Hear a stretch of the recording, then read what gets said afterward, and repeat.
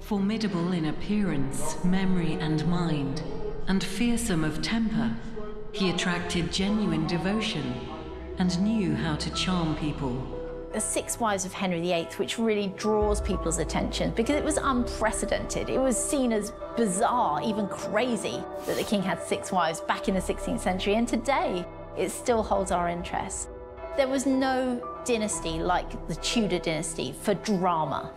Though cold, self centered, ungiving, and forever suspicious of the ways of the world, he could not descend to the second stereotype.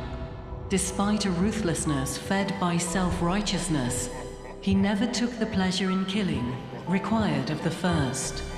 It's very difficult to state whether Henry VIII truly loved any of his wives. I think he respected many of them. I think he was besotted with most of them. And he was obsessed, certainly, by Anne Boleyn. But ultimately, I think Henry only had room to love one person, and that was himself. Perhaps this is why his callousness and cruelty continue to plague the halls of his most beloved castles, even in death. Let down your drawbridge island.